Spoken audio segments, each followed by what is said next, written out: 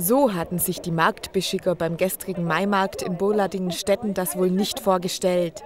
Denn trotz eines vielfältigen Angebots bei Dauerregen ließen sich doch nur wenige Besucher an den Ständen blicken. Die jedoch waren bester Stimmung. Mit den regionalen Köstlichkeiten konnte man sich das Wetter ja auch einfach schön trinken.